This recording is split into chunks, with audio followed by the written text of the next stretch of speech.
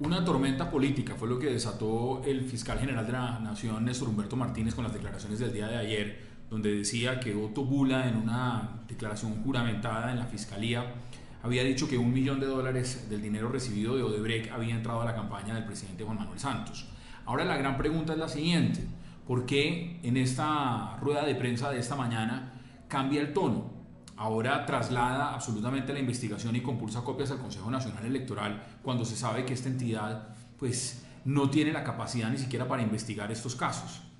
También es eh, muy relevante eh, saber desde cuándo el secretario de Transparencia de la Presidencia, antiguo SAR Anticorrupción, Camilo Enciso, en lugar de salir a profundizar sobre estas denuncias que hace el fiscal general de la Nación de corrupción en campañas políticas, lo que hace salir en defensa abierta del gobierno nacional y de la campaña Santos y acusar a otro sector político de estar manipulando o de estar detrás de estas declaraciones de voto bula. Vale la pena también señalar que es vergonzoso que dos campañas políticas que tuvieron la posibilidad y que pelearon la presidencia del 2014, las dos estén siendo investigadas por un caso de corrupción con dinero de Odebrecht.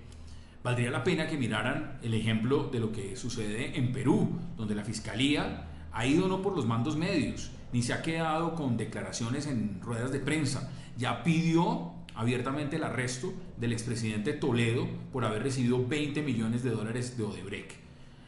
Quedan varias preguntas en el aire. Uno,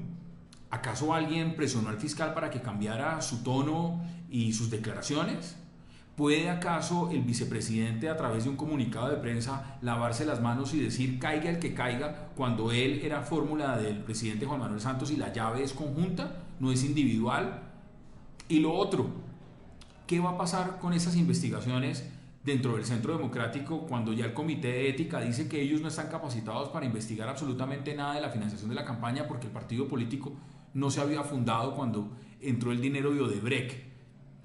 Eh, es realmente triste el panorama eh, que nos está mostrando este escándalo Odebrecht en Colombia y ojalá no vayamos a terminar como en la anterior fiscalía, en declaraciones a los medios, en declaraciones en ruedas de prensa y de fondo eh, mandando a que sean órganos que no tienen las facultades ni los instrumentos para llevar a cabo investigaciones de fondo los que tengan la última palabra, en este caso el Consejo Nacional Electoral.